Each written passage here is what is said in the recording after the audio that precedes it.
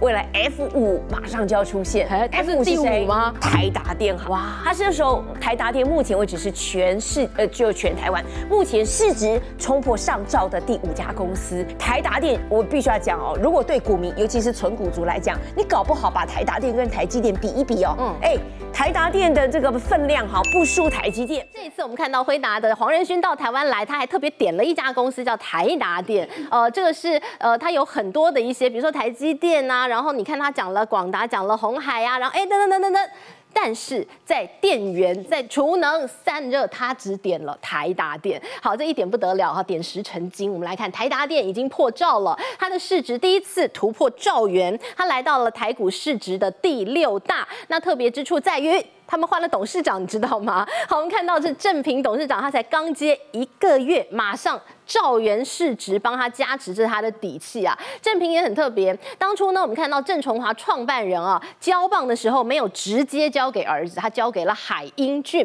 好，那当当时他在考验他儿子，但是考验通过了之后，海英俊的这个董事长位置又。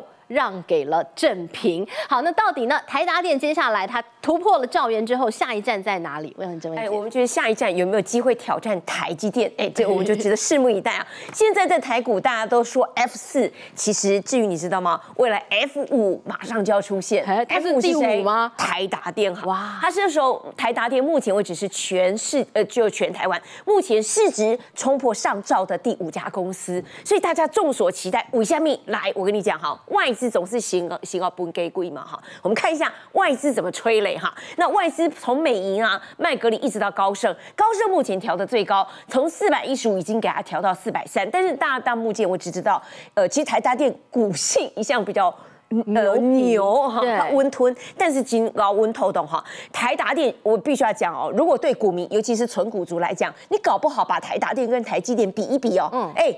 台达电的这个分量哈不输台积电，对，过去十年来在台湾股民里面哈，完全每年都配股，而且配到一几乎一样水准，是台达电不是台积电，哇，所以你就知道说，其实台达电它是是呃老牛哈，老骥伏枥，但是绝对是温透透，所以在这里面未来有没有可能来到四百三？哎，现在他在这个正平一上来哈，接班一个五月三十号刚宣布选他当董事长之后，哎，真的好的这个平台做给他外。外资都不算不算，谁最重要？三兆男，这个男 那个男人最重要，站在他的旁边，背板有你这个台达电的这个 logo，这卡重要。这位就郑平先生嘛。对，那这是诶这一张照片很重要哈，每一个这个台呃跟黄仁勋推出来跟他在那个 Computex 展合照，必有他的原因。现在郑平他这一家台达电也是 GTC 三月份的时候，GTC 唯一请到。这个呃，这个黄仁勋 G T C 大会唯一的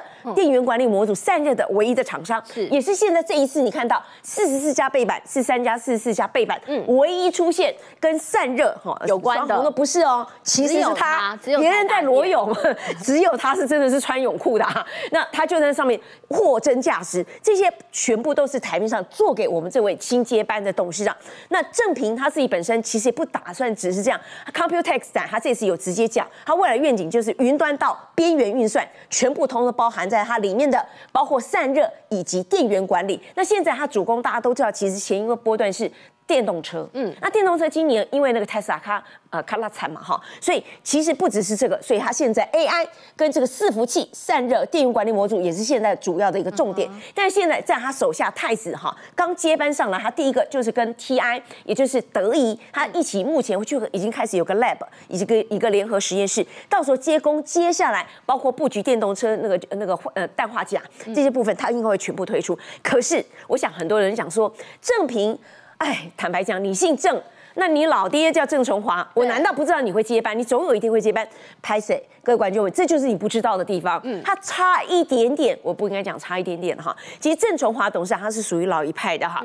他为什么盯着这个郑郑平？他盯了二十年，而且到底要不要让他接班？考虑了二十年。哈，不是因为姓郑你就有机会接。来，我们跟你讲哈，郑崇华老先生，如果你接触过他，他是个非常严谨的人，而且他就是崇拜圣人。嗯，我跟你讲，他就像是那个李国鼎啊，那个孙运璇。那我们以前在访谈他的时候，我跟你讲哈，你不要看老先生看起来很和蔼，对话三句你不到位，根本没有准备功课，你下下这个几年之后再来问我，我跟你讲，他就是这么严格，他会这样子跟记者他的儿子跟他是两回事的人。我跟你讲啊，他从小因为爸爸很忙，儿子常常见不到爸爸，两个人是不对盘的。嗯，好，所以那个名字叫正平，你就知道哈，他爸爸对这个小孩子的看法大概是怎么样。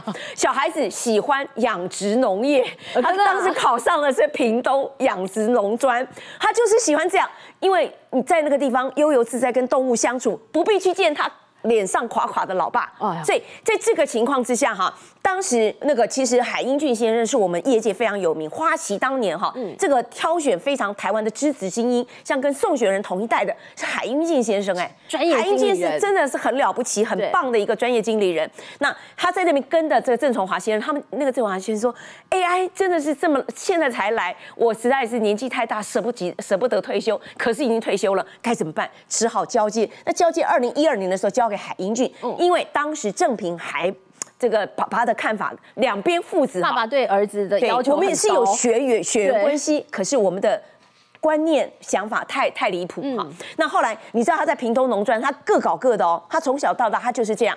他他爸爸有他爸爸的看法，他有他的看法。后来他自己也去做养殖业，而且非常比他那个所有的屏东渔翁都认真。他在养虾。我跟你讲，他养虾，他本来我跟你讲，他的打打算我要去做泰国的养虾大王。嗯。所以他其实是把他呃屏东那当地很多的养虾养殖场，没有他没有人知道他是个千亿的富二少哎。哇哦。只知道他叫郑平哎。然后后来他真的跑去做了养殖虾，本来也。差不多快养殖好了之后，结果碰到一些鱼瘟鱼灾，然后他老婆又刚刚娶，最后只好摸摸鼻子，什么都赔了哈，还是回到他的这个养虾失败之后，养虾失败之后，还是我们回到我们家的事业。对我们这个这个台达店真的太大的一个事业，那接班怎么接班？看了他二十年，盯了他，先由海海英俊一步一步带他。而且我跟你讲，当时啊，郑崇华对他的儿子是很有看法的，所以一进来时候不是让你当科长，因为他没有空降去直接没有什么。我跟你讲，通常第二代都会当董事长特助，是。然后科长特助没多久升了那个副总，就接班了。没有，他第第一份工作在干嘛？哎，制造部。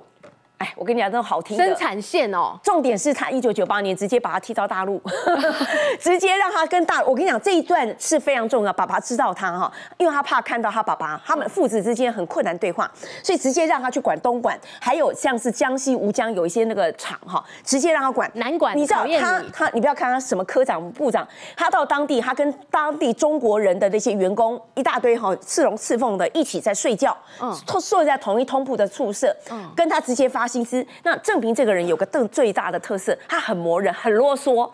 他比员工还啰嗦，一个一个谈，谈到后来整个部分哈，从由亏转盈，至少成长了七三十七 percent，整个完全转亏为盈，他才调回中国，呃，才调回台湾，台湾然后开始二零零八年才开始进入了台达电的系统，所以不是你姓郑，你就有办法去接班。本来我差点要交给姓海的，那现在如果经过这几年的历练，哎，开始英文跟各方面，而且这次 Computex 赛，你不要看哦，为什么那个这次哈那个能够说动黄仁勋不找其他人，只找郑。正平去到了 GTC，你就知道这太子的定位。从他以前在大陆的那段历练，真的有这个能力，而不完全只是望想望养虾，你就证明原来不姓郑一样是可以接，但是他姓郑更能接，而且直接接到三兆能身边。未来啊，我相信台达电未来发展恐怕是 F 四真的有机会。对，所以我们看到这台达电也是一个很重要的一个企业啊。呃，我们护国神山群当中有它，千万不要忘了它。